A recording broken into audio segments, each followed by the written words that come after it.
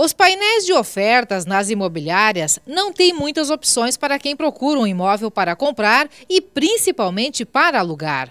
Rafael, que é corretor de imóveis, afirma que Cachoeira do Sul está crescendo, atraindo investidores, universitários e que, por isso, vivencia um momento único no setor imobiliário. Faltam investidores, faltam alguns imóveis, digamos, de um dormitório, sala, cozinha, banheiro, que são que os estudantes agora procuram, né? E a gente tem uma depreciação de, de imóveis no, no, mercado, por quê? Porque os nossos clientes ontem, que eram inquilinos, hoje eles adquirem.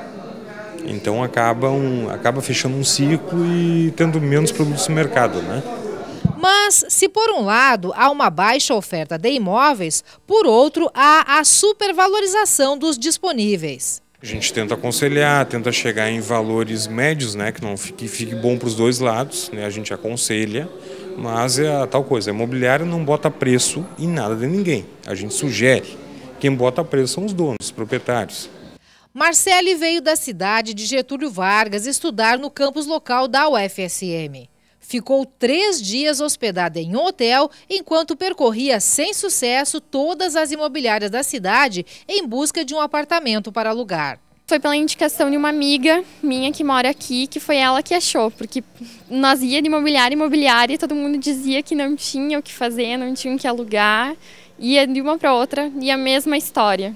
Foi bem difícil. E agora vem mais um pessoal novo que também eu acho que vai enfrentar isso novamente. Um exemplo claro do aquecimento do mercado imobiliário se percebe nos canteiros de obras. Aquele prédio, por exemplo, já está com os 30 apartamentos vendidos, mesmo com a obra ainda inacabada. Aqui onde estamos, será construído também um prédio com 30 apartamentos e 12 já estão vendidos, mesmo que os alicerces nem tenham começado ainda. A situação na, na nossa cidade é, é, continua aquecido, lento, mas continua aquecido. O pessoal está procurando, está tá, tá comprando ainda, está investindo.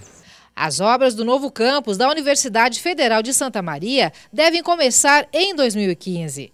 A construção dos 15 prédios e a projeção de, em cinco anos, atender 5 mil universitários também devem representar mais incentivo para o mercado imobiliário continuar aquecido. No momento que começar as obras e tiver aluno eh, na Universidade Federal, vai haver procura, porque não temos imóveis hoje é, de um certo nível para alugar.